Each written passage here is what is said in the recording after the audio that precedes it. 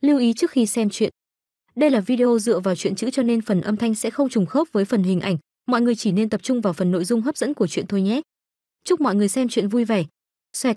Thạch phù thần bí đột nhiên biến thành một đạo bạch quang dịu nhẹ xé tan bóng tối bay thẳng tới cỗ quan tài phía trên mặt hồ. Sự việc xảy ra quá đột ngột, thậm chí Lâm Động còn chưa kịp phản ứng gì. Vì hắn không thể ngờ thạch phù trước nay vẫn tĩnh lặng nằm trong cơ thể hắn lại đột nhiên có dị động vào lúc này. Khi sực tỉnh, hắn lập tức dùng tâm thần định kéo thạch phù trở về.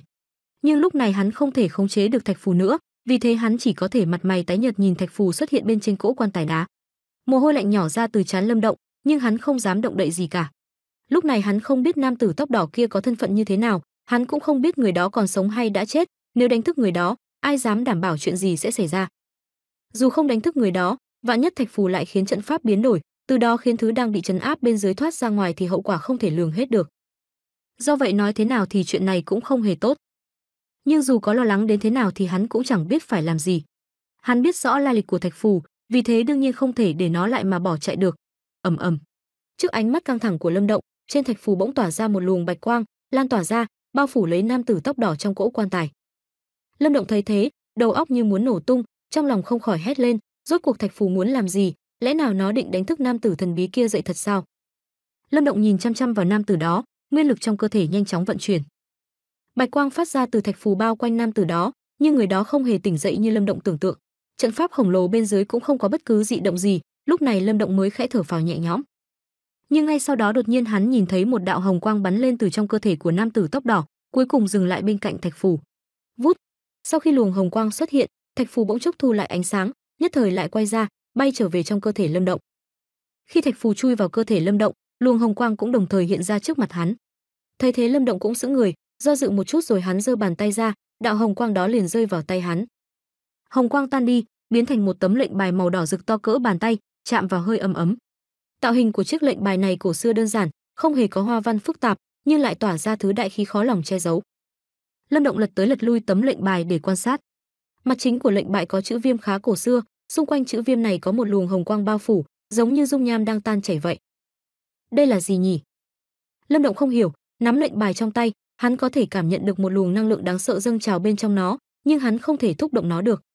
Cuối cùng hắn đành cho mày lắc đầu, thận trọng cất tấm lệnh bài đi. Nếu nó là do thạch phù gọi ra thì chắc chắn cũng có tác dụng gì đó. Sau khi cất đi tấm lệnh bài, Lâm Động cẩn trọng nhìn lại nam tử đang nằm trong cỗ quan tài, vẫn không có dấu hiệu tỉnh lại. Dường như việc thạch phù lấy đi đồ trong người nhưng hắn không thể phản ứng vậy. Lâm Động đứng đó một lúc lâu rồi gãi đầu, thạch phù vô duyên cớ bay ra rồi lấy về cho hắn một thứ kỳ lạ, nghĩ cũng thật khó hiểu. Những thứ đồ từ thời viễn cổ này lúc nào cũng khiến người ta không hiểu ra làm sao. Từ tình hình vừa rồi, chưa biết chừng thạch phù thần bí có liên hệ gì đó với nam tử tóc đỏ kia. Nếu vậy thì hắn ta có lẽ là nhân vật từ thời viễn cổ rồi. Lâm Động giữ người nhìn một lúc lâu, cuối cùng lắc đầu, vứt hết suy nghĩ ra khỏi đầu.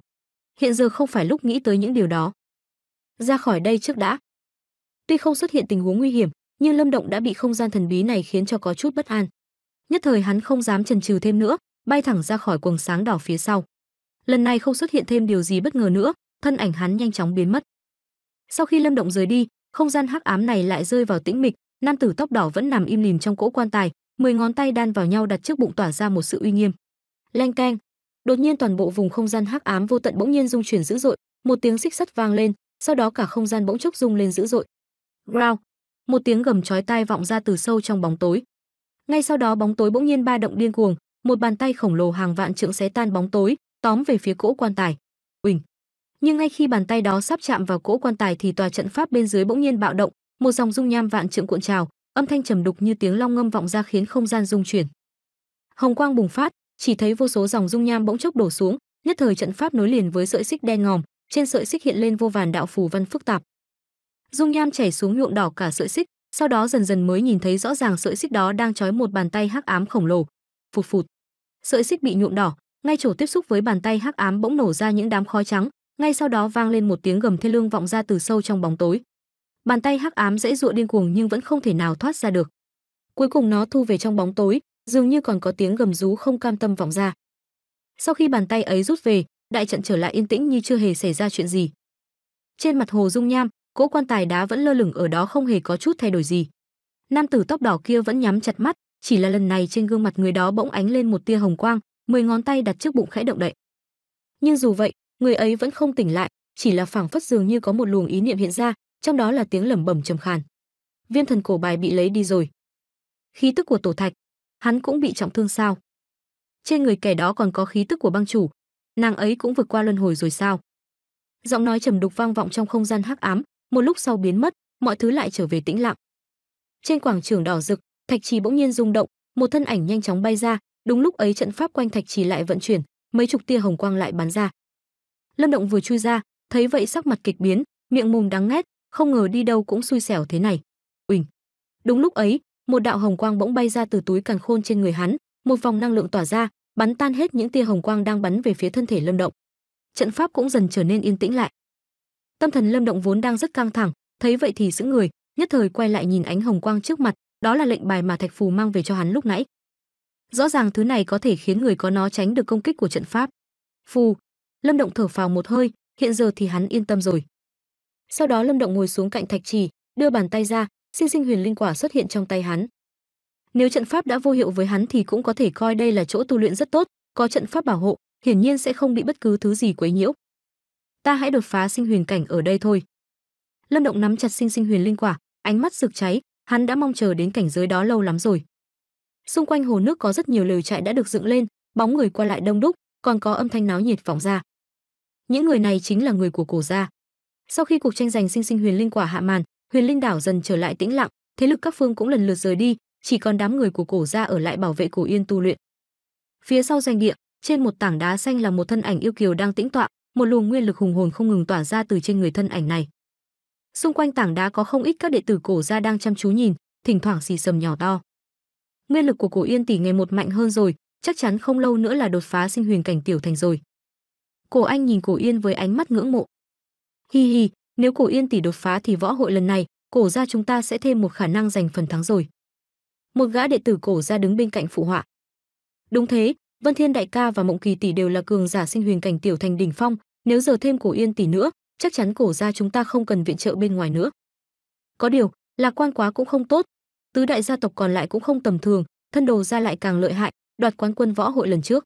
Danh tiếng của Thiết Tu La thân đồ tuyệt càng uy chấn hải vực thiên phong, nghe nói trước đây không lâu, hắn đã xung kích sinh huyền cảnh đại thành rồi, đúng là biến thái.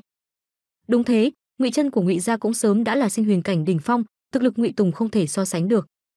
Võ hội lần này xem ra sẽ ác liệt lắm a. Khi các đệ tử còn đang bàn tán thì Cổ Nhã ngồi bên bờ hồ nhìn xuống mặt hồ tĩnh lặng, bàn tay hờ hững bứt những nhành cỏ bên cạnh, ánh mắt hiện lên vẻ lo lắng. Yên tâm, hắn không đơn giản như muội nghĩ đâu.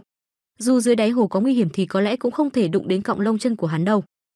Khi Cổ Nhã còn đang ngẩn ngơ thì một giọng nói truyền tới từ phía sau, sau đó nàng nhìn thấy Cổ Anh khoanh tay trước ngực, đứng phía sau cười mỉm.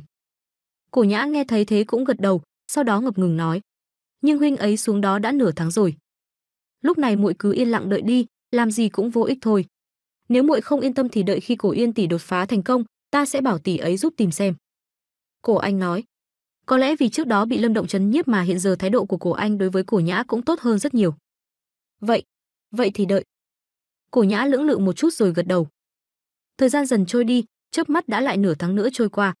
Trong nửa tháng này Lâm Động vẫn không có dấu hiệu gì sẽ ra khỏi hồ nước, điều này khiến đám đệ tử cổ ra khó hiểu, nhưng lại chẳng ai dám xuống dưới tìm. Nhưng điều may mắn là trong một tháng này Cổ Yên đã sắp tu luyện xong. Uỳnh uỳnh. Nguyên lực hùng hồn điên cuồng tỏa ra từ cơ thể Cổ Yên đang ngồi tĩnh tọa. Áp lực của luồng nguyên lực khiến sắc mặt đám đệ tử cổ ra ở xung quanh hiện lên vẻ phấn khích, bọn họ biết đó là dấu hiệu Cổ Yên sắp đột phá. Áp lực ngày một tăng lên, trước áp lực đó, một số đệ tử đứng gần phải lùi lại một khoảng xa mới chịu đựng nổi. Uỳnh uỳnh. Mấy phút sau, nguyên lực bỗng nhanh chóng thu lại về trong cơ thể Cổ Yên, phảng phất có âm thanh như tiếng sấm rền vọng ra. Nguyên lực cuối cùng chui hết vào cơ thể Cổ Yên, thanh thế trước đó cũng tắt ngấm, sự yên tĩnh quỷ dị chỉ kéo dài vài giây, cuối cùng Cổ Yên chậm chậm mở mắt ra. Bùm! Vào khoảnh khắc ấy, một luồng khí tức cường hãn bùng phát, lực xung kích từ luồng khí tức ấy khiến mặt hồ dậy sóng lớn, nhất thời đổ ập xuống như vũ bão. Cổ Yên vung tay, nguyên lực cuồn cuộn chặn đứng dòng nước, trên gương mặt nàng hiện lên niềm vui mừng khó che giấu. "Cổ Yên tỷ, chúc mừng tỷ." Đám đệ tử cổ gia nhanh chóng quay lại, ôm quyền chúc mừng. Tâm trạng Cổ Yên lúc này rất tốt, trên gương mặt vốn lãnh đạm lúc này cũng hiện lên nụ cười.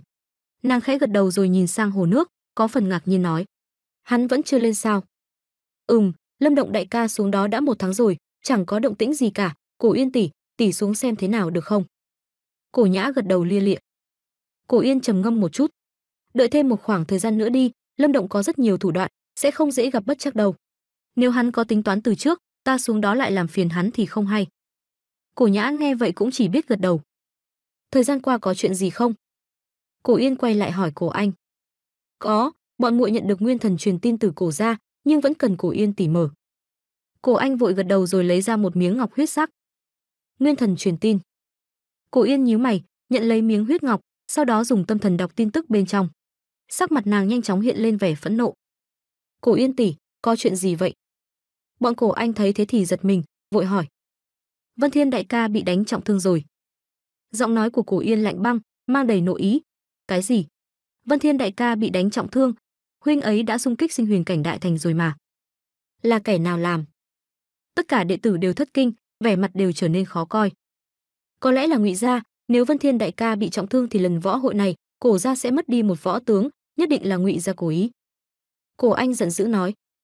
Cổ Yên cho mày, lẩm bẩm. Nếu Vân Thiên đại ca không thể tham chiến thì cổ gia khó lòng giành được thành tích tốt. Cổ Yên tỷ, các thế lực tham gia võ hội đều mời viện trợ bên ngoài, lần này cổ gia chúng ta chưa có ai cả. Một gã đệ tử ngập ngừng nói. Còn chưa đến một tháng nữa đã bắt đầu võ hội rồi, sợ là không kịp tìm được ai có thể tin tưởng mà thực lực lại mạnh. Cổ Yên khẽ lắc đầu, đột nhiên nàng bỗng ngẩng đầu lên, thấy đám đệ tử cổ gia đều đang nhìn về phía mặt hồ. Lâm Động là một đối tượng không tệ, nếu mời được hắn thì có lẽ sẽ thay thế được Vân Thiên đại ca. Cổ Yên cười khổ. Lâm Động và chúng ta là quan hệ hợp tác, muốn hắn viện trợ e là không dễ. Lâm Động không thích phiền phức, nhưng cũng là người thực tế, nếu chúng ta cho hắn đầy đủ lợi ích thì có thể mời hắn ra tay được. Lợi ích? Gia tộc giành chức quán quân của võ hội sẽ có ba suất được vào Hồng Hoang Tháp mà, muội nghĩ có lẽ hắn sẽ có hứng thú. Cổ Anh trầm ngâm nói. Nàng không nghĩ có người nào có thể cự tuyệt được sức hấp dẫn này. Dù sao ở Hải vực Thiên Phong này, người muốn vào Hồng Hoang Tháp nhiều vô kể, mà mỗi năm chỉ có ba người được vào. Còn võ hội ngũ gia này được tổ chức là để quyết định ba người của thế lực nào được vào. Cổ Yên khẽ nhướng mày. Ba suất vốn đã rất ít, lợi ích này đúng là rất lớn, nhưng không biết có đủ để khiến Lâm Động động lòng không. Cứ đợi Lâm Động đi lên đã, sau đó sẽ nói với hắn xem sao. Nếu hắn có hứng thú thì mời hắn làm viện trợ, nếu không thì chúng ta tìm cách khác vậy. Nghe Cổ Yên nói vậy, Cổ Anh cũng chỉ biết gật đầu, giờ cũng đành phải làm vậy thôi. Trong quảng trường đỏ rực bên dưới dòng dung nham dưới đáy hồ, thời gian cũng nhanh chóng trôi qua. Một thân ảnh gầy gò đang ngồi tĩnh tọa, nguyên lực không ngừng tỏa ra từ người hắn, mơ hồ còn có âm thanh trầm đục tựa sấm vang lên. Uỳnh, Lâm Động đột nhiên mở mắt, hàng lông mày nhíu lại, hai bàn tay nắm chặt lại, lẩm bẩm. Cửu Nguyên Niết Bàn đỉnh phong. Nhờ vào năng lượng của Sinh Sinh Huyền Linh Quả, thực lực của Lâm Động trong một tháng đã tăng lên Cửu Nguyên Niết Bàn, tốc độ như vậy là khá nhanh, nhưng Lâm Động vẫn không hài lòng. Cấp bậc hắn muốn đạt được không chỉ là như vậy, lần này hắn muốn đột phá sinh huyền cảnh. Đến nay hắn đã giao đấu với không ít cường giả sinh huyền cảnh, đương nhiên hắn hiểu sự lớn mạnh của cảnh giới đó. Nếu so sánh về mặt nguyên lực thì Lâm Động không thể sánh được với những cường giả đó. Vì cường giả sinh huyền cảnh có sinh khí nên về mức độ hùng hồn của nguyên lực, cường giả niết bàn cảnh không thể so sánh được. Hơn nữa cũng vì có sinh khí mà tốc độ hồi phục thương thế cũng như nguyên lực rất nhanh.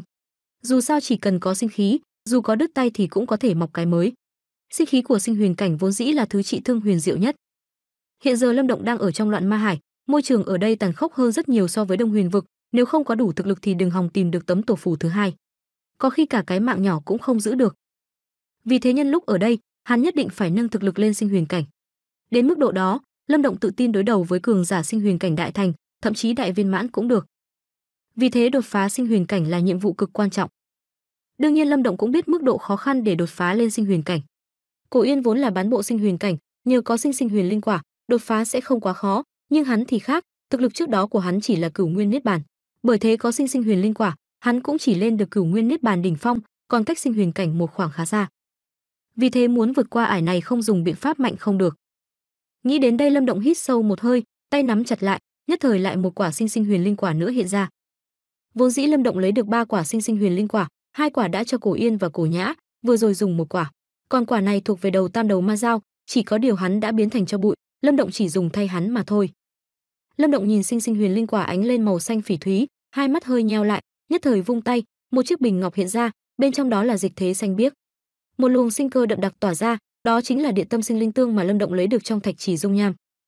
Ta muốn xem xem, nhờ hai đại bảo bối này liệu có đột phá được không? Lâm Động để nghiêng bình ngọc, một giọt địa tâm sinh linh tương nhỏ xuống. Hắn có tất cả 8 giọt địa tâm sinh linh tương, năng lượng sinh cơ trong mỗi giọt đều vượt xa sinh sinh huyền linh quả không biết bao nhiêu lần.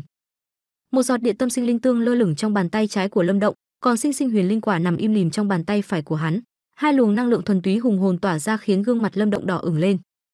Hắn nhìn hai đại bảo bối trong tay, khẽ nghiến răng rồi nhắm mắt lại, hắc quang tỏa ra từ bàn tay quấn lấy hai thứ kia. Uỳnh uỳnh, một luồng lực thôn phệ bùng phát, nhất thời hai luồng năng lượng bùng phát không ngừng chui vào cơ thể Lâm Động. Thân thể hắn khẽ rung lên, thanh quang cuồn cuộn không ngừng cường hóa nhục thể, toàn lực gắng gượng tiếp nhận sự xung kích. Cùng với nguồn năng lượng chảy vào, khí tức của Lâm Động cũng dần tăng lên, tốc độ không hề nhanh, nhưng có thể cảm nhận được rất rõ ràng. Trên quảng trường đỏ rực là một sự tĩnh lặng như tờ, chỉ thỉnh thoảng có âm thanh rất nhỏ phát ra từ cơ thể Lâm Động. Thời gian lại nhanh chóng trôi đi, lại nửa tháng nữa đã qua. Uỳnh. Thân ảnh bên cạnh Thạch Trì hơi rung lên, khí tức của hắn lúc này đã vô cùng mạnh mẽ, mức độ dồi dào của nó đã có thể sánh ngang với cường giả bán bộ sinh huyền cảnh. Nhưng mức độ này vẫn chưa đạt được mức Lâm Động cần. Hắn muốn đột phá sinh huyền cảnh. Dường như cảm ứng được suy nghĩ của Lâm Động, nguyên lực trong cơ thể hắn bỗng sôi sự. Tất cả nguyên lực chạy đều khắp thân thể rồi biến thành hai dòng nguyên lực vận chuyển quanh người Lâm Động, tựa như hai con rồng cuối cùng đâm vào nhau tại đan điền. Vào khoảnh khắc hai dòng nguyên lực va chạm, thân thể Lâm Động rung chuyển dữ dội, từng đợt sóng năng lượng kỳ dị nhanh chóng tỏa ra từ trong cơ thể hắn, đến cơ thịt khắp người hắn cũng bắt đầu nhu động. Bùm bùm bùm. Nhất thời bên trong cơ thể hắn giống như có những trận bão bùng phát, một luồng năng lượng màu trắng sinh ra từ nơi hai luồng nguyên lực va chạm vào nhau. Uỳnh. Ngay khi năng lượng màu trắng hiện ra, nguyên lực sục sôi trong người Lâm Động lập tức yên tĩnh trở lại, sau đó ngưng tụ lại, hấp thụ năng lượng màu trắng kia. Uỳnh uỳnh. Sau khi năng lượng màu trắng được hấp thụ, Lâm Động có thể cảm nhận thấy nguyên lực trong cơ thể hắn ngay lập tức đã tăng lên nhanh chóng. Nguyên lực bùng phát khiến kinh mạch của hắn truyền đến cảm giác đau đớn, nhưng Lâm Động không những không hoảng hốt mà vẻ mặt còn đầy mừng rỡ. Hắn biết thứ năng lượng màu trắng kia chính là sinh khí sinh ra từ trong cơ thể hắn. Đó mới là năng lượng sinh khí thuộc về hắn. Nguyên lực nạp thần. Lâm Động kìm nén sự kích động, tâm thần khẽ động, nhanh chóng chuyển nguyên lực vào đan điền, cuối cùng chảy vào nguyên thần trên Long Nguyên Luân. Thân thể bé nhỏ của nguyên thần lại như động không đáy, hấp thụ toàn bộ số nguyên lực kia. Theo đó, kim quang quanh nguyên thần của Lâm Động càng trở nên sáng chói dần trở nên thực chất hơn, cuối cùng đã thoát khỏi trạng thái hư ảnh. Nguyên thần ngồi khoanh chân, khi tia nguyên lực cuối cùng tiến vào cơ thể, nguyên thần của Lâm Động khẽ mở mắt, một đạo kim quang xuyên qua mọi nơi trong cơ thể Lâm Động, mạnh mẽ lan tràn ra. Hắn có thể cảm nhận được trước sự chiếu rọi của ánh kim quang, nội bộ cơ thể hắn cũng xuất hiện thay đổi. Đó là cảm giác mạnh mẽ hơn. Xoẹt, Lâm Động bỗng mở trừng mắt, đồng thời một luồng khí tức mạnh mẽ dị thường bùng nổ. Sinh huyền cảnh, cuối cùng thì Lâm Động cũng đạt được rồi. Xung quanh hồ nước, một số đệ tử của cổ gia tập trung lại, trong lúc nói chuyện không ngừng nhìn về phía mặt hồ. Trên bờ, Cổ Yên hơi nhíu mày nhìn mặt hồ tĩnh lặng, Lâm Động đã ở dưới đó nửa tháng nữa mà chẳng có chút động tĩnh gì. Cổ Yên tỷ, đã nửa tháng rồi. Phía sau lưng Cổ Yên, Cổ Anh trong mày, biến cố lúc này hiển nhiên đã nằm ngoài dự liệu của bọn họ. Nếu là bình thường, chắc chắn bọn họ có thời gian để đợi, nhưng hiện giờ chỉ còn nửa tháng nữa là tới võ hội ngũ ra rồi. Nếu cứ đợi tiếp e là bọn họ sẽ không kịp mất. Để ta xuống xem sao. Cổ Yên trầm ngâm một chút, cuối cùng nghiến răng nói. Nàng cũng hiểu thời gian lúc này cấp bách thế nào, nhưng nàng cũng không muốn từ bỏ một đối tượng viện trợ hiếm có như Lâm Động. Cổ Anh nghe vậy cũng gật đầu. Xoẹt. Trước nay Cổ Yên vẫn luôn hành sự rất dứt khoát, đã quyết định thì nàng lập tức động thân bay tới. Nhưng khi sắp chui xuống hồ thì bỗng cặp mắt nheo lại, rồi vội vàng lùi về phía sau. Bùm. Cổ Yên vừa lùi lại thì mặt hồ bỗng bắn lên một cột nước khổng lồ, nước đổ xuống ảo ảo tựa như màn mưa. Một thân ảnh bay ra trước ánh mắt phấn khích của Cổ Yên rồi đáp xuống bên cạnh bờ hồ. Lâm Động đại ca. Cổ Nhã thấy thân ảnh quen thuộc đó, vội vã tiến lại. Cổ Yên cũng đáp xuống, ánh mắt nhìn thân ảnh kia có kinh ngạc, không khỏi kêu lên: "Ngươi, ngươi cũng đột phá sinh huyền cảnh rồi?" Cổ Yên vừa dứt lời thì đám đệ tử cổ gia ở xung quanh đều kêu lên ngạc nhiên, ai ai cũng nhìn Lâm Động với ánh mắt không thể tin nổi. Bọn họ biết trước khi Lâm Động xuống hồ chỉ là cửu nguyên niết bàn, dù hắn có sinh sinh huyền linh quả đi nữa cũng không thể nào lại đột phá được sinh huyền cảnh chứ. May mắn thôi. Lâm Động cười, cũng không giải thích gì nhiều. Cổ Yên nghe thấy thế cũng chỉ nhìn Lâm Động lâu một chút. Nàng đoán thực lực hắn tăng mạnh như vậy có lẽ vì đã gặp được cơ ngộ gì dưới hồ.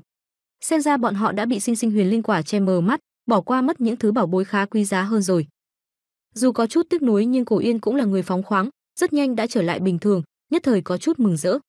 Thực lực của Lâm Động giờ đã là sinh huyền cảnh, tuy chưa vững vàng ở sinh huyền cảnh tiểu thành, nhưng khi còn là cửu nguyên niết bàn, hắn đã có thể đối kháng được với sinh huyền cảnh tiểu thành, giờ đã chính thức bước vào tầng thứ này, có lẽ sẽ khó gặp đối thủ. Nếu mời được hắn viện trợ cho cổ ra thì khả năng chiến thắng chắc chắn sẽ không nhỏ. Thời gian qua làm phiền mọi người rồi. Lâm Động khẽ cười, hắn có thể nhận ra Cổ Yên đã tu luyện xong từ lâu, nhưng bọn họ vẫn ở lại đây hiển nhiên để bảo hộ cho hắn. Tuy hắn ở dưới đáy hồ tìm được nơi tu luyện an toàn hơn, nhưng tâm ý này của người khác, hắn vẫn phải cảm tạ.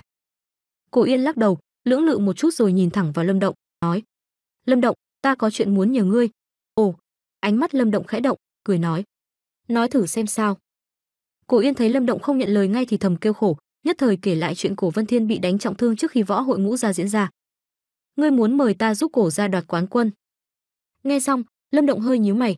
Đúng, xin lỗi, ta mới đến Loạn Ma Hải, chưa quen với môi trường, con người ở đây, không muốn tham gia vào sự tranh đấu giữa các đại gia tộc các ngươi. Lâm Động nghĩ một chút rồi lắc đầu từ chối. Ngũ đại gia tộc của Hải vực Thiên Phong đều có thực lực không tệ, nếu Lâm Động giúp cổ gia đoạt quán quân, chắc chắn sẽ khiến các gia tộc khác không thoải mái. Hắn không hề muốn vậy. Hắn không có hứng thú với những cuộc tranh đấu vô vị. Lâm Động từ chối khiến đám đệ tử cổ gia có phần lúng túng, nhưng cũng không còn cách nào, đành lắc đầu cười khổ. Cổ Nhã nhìn Lâm Động, cũng không nói giúp Cổ Yên. Tuy nàng ngây thơ, nhưng cũng cũng biết không nên cưỡng ép Lâm Động làm gì. Trên đường đi, Lâm Động đã giúp Cổ gia rất nhiều rồi, nếu yêu cầu hơn nữa thì có phần quá đáng. Cổ Yên cười khổ, nàng cũng hiểu một chút tính cách của Lâm Động, nên cũng không quá bất ngờ khi hắn từ chối. Nói ra thì Cổ Yên cũng là một mỹ nhân khá lạnh lùng, bình thường nếu có yêu cầu gì, những đệ tử ở xung quanh không ai là không cố gắng lấy lòng nàng. Nhưng Lâm Động lại từ chối dứt khoát thế này, dù sao tuy Cổ Yên đẹp nhưng vẫn kém Lăng Thanh Trúc một bậc, khí chất lạnh lùng cũng không thể so sánh nổi. Vì thế những ưu thế như sắc đẹp chẳng có tác dụng gì với Lâm Động. Lâm Động, ngươi có biết Hồng Hoang Tháp không?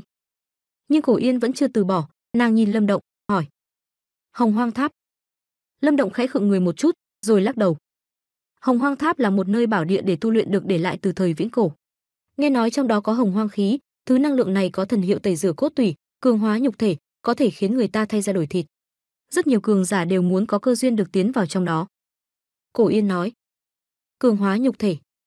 Lâm Động nhướng mày, nhưng vẫn không thể hiện mình quá hứng thú, bởi vì dù sao giờ nhục thế của hắn cũng rất mạnh mẽ rồi. Đây chính là Hồng Hoang Châu bên trong Hồng Hoang Tháp, trong nó có hồng hoang khí. Trong bàn tay Cổ Yên xuất hiện một viên thạch châu màu vàng nhạt, nàng búng tay, viên thạch châu bắn về phía Lâm Động. Lâm Động bắt lấy, vừa chạm vào dường như có một luồng khí tức hùng hồn tỏa ra từ viên thạch châu này. Hắn nắm chặt lấy, tâm thần khẽ động phát ra lực thôn phệ. Uỳnh.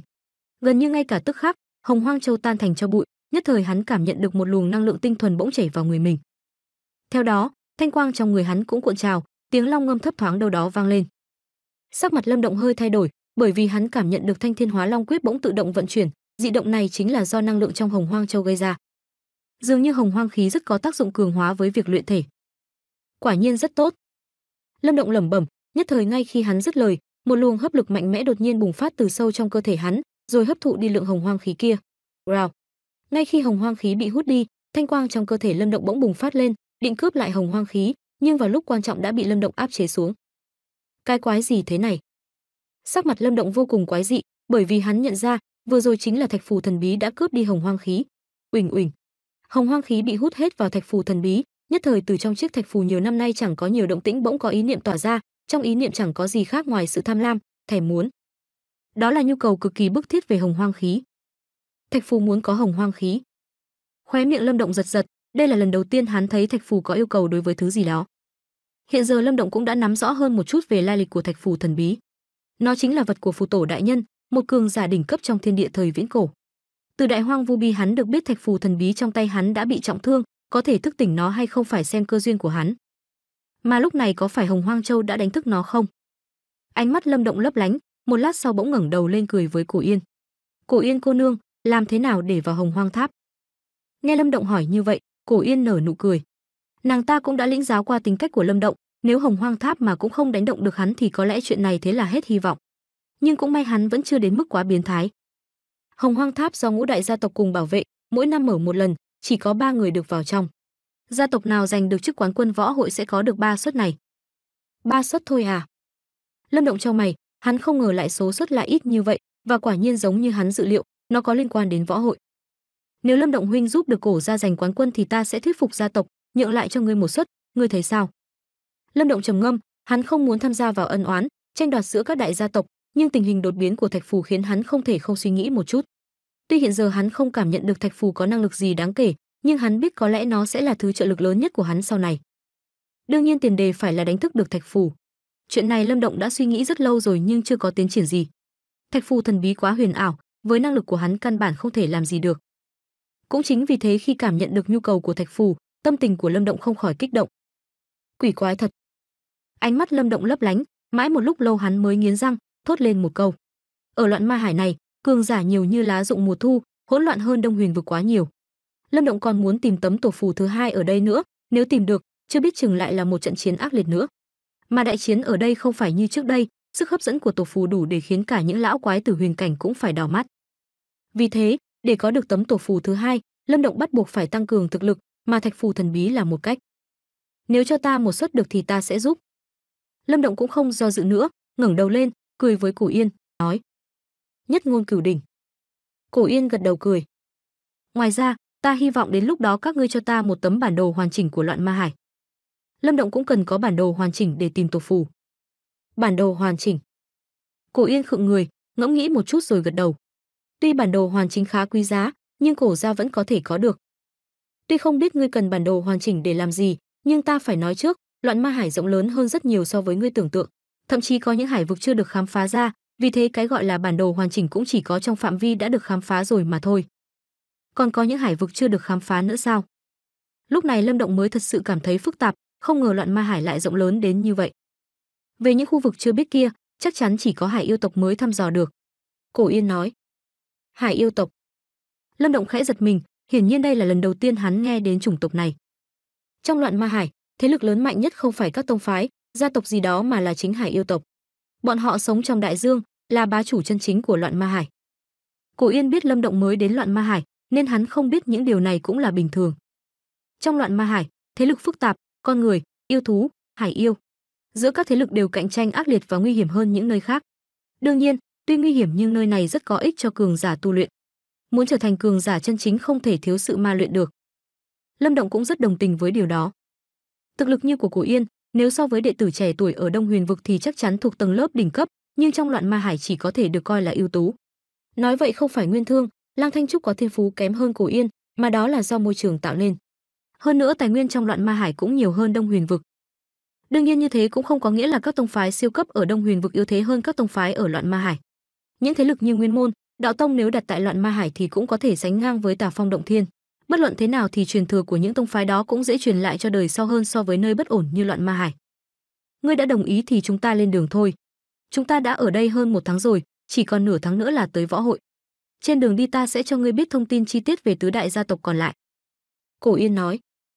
Đám đệ tử cổ gia ở xung quanh cũng phấn khích gật đầu. Bọn họ đều đã thấy sự cường hãn của Lâm Động, đương nhiên bọn họ rất vui vì đã tìm được viện trợ, có lẽ lần này cổ gia được nở mày nở mặt rồi. Lâm Động cũng không có ý kiến gì, liền gật đầu. Đám đệ tử cổ gia thấy vậy, lập tức giải tán, thu dọn doanh địa chuẩn bị rời khỏi Huyền Linh đảo. Lâm Động đứng tại chỗ nhìn mọi người bận rộn cũng khẽ thở ra một hơi. Đồng ý với Cổ Yên tham gia võ hội ngũ gia gì đó, hắn cũng có suy nghĩ khác. Hôm đó ba huynh đệ hắn thực hiện dịch chuyển không gian bị Thiên Nguyên Tử gây rối, vì thế hiện giờ không biết hai người Tiểu Viêm, Tiểu Điêu ở đâu, có an toàn không. Vì thế khi tìm tổ phù, Lâm Động cũng cố gắng đi tìm bọn Tiểu Điêu, nhưng loạn ma hải này quá rộng lớn, muốn tìm một hai người, quả thật còn khó hơn mỏ kim đáy bể. Mà võ hội ngũ gia khá có danh tiếng, nếu hắn tham gia, có lẽ tiếng tăm sẽ được truyền đi xa. Đến lúc đó, bọn tiểu điêu mà biết được thì có thể tìm được hắn. Hy vọng bọn họ vẫn bình an. Lâm Động lẩm bẩm, nhất thời nhìn về phía đông, hai bàn tay trong ống tay áo siết chặt lại. Nguyên môn lão cẩu, ta đã nói rồi, đến khi ta trở lại Đông Huyền vực, đó sẽ là ngày nguyên môn các ngươi diệt môn. Vì thế, các ngươi rửa cổ mà đợi đi. Lâm Động mím môi, ánh mắt lóe hung quang, sát ý lan tỏa lạnh lẽo.